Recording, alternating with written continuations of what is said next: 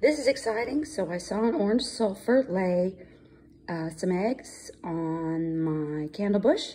And so I plucked the little egg off to keep it protected and brought it inside. And so I've been giving it more and more leaves. And now the guy is getting huge. Look at him. Look at him. Isn't he beautiful? So this is the cloudless sulfur or orange sulfur caterpillar. Isn't he gorgeous though? Look at him. That's amazing.